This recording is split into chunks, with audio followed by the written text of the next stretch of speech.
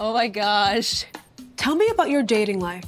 I think it's pretty hard to find someone out here. It's rough, I would say. Dating kind of makes me feel like I'm in a thrift store. Oh. There's some really cool stuff, but then there's some stuff where it's like, Now, what exactly would you say you're looking for in a potential partner? They should dance. be able to drive a stick A stick. and look hot while doing it. Wow, the bar is really high for you.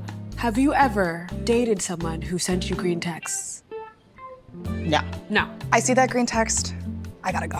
You can't haha at my funny jokes. The quality of the pictures doesn't translate. I think it'd be a no-go. It would be a no-go? Got it. And would you consider yourself a judgmental dater? Yeah, I would say so. Are you single?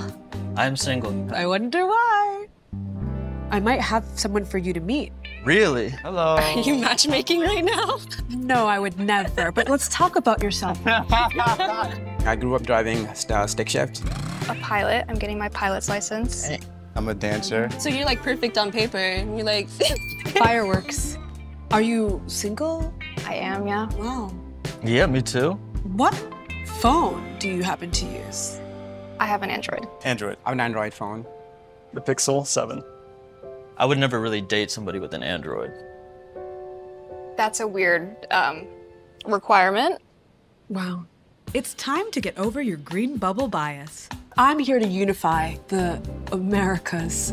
Blue text, green text, hand in hand. Texting is crucial in dating. Now that Apple's finally upgrading their tech, it'll be easier to text with Android. Really? Yes, really. I know there's a stereotype around it, but you're fine. yeah. You set that up, girl. Just call me Cupid.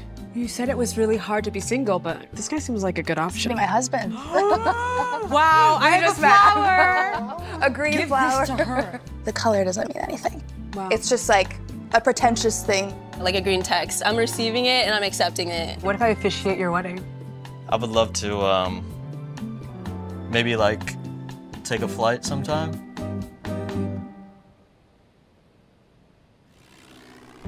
The offer was out there. Here's to finding your perfect match, no matter what phone they have.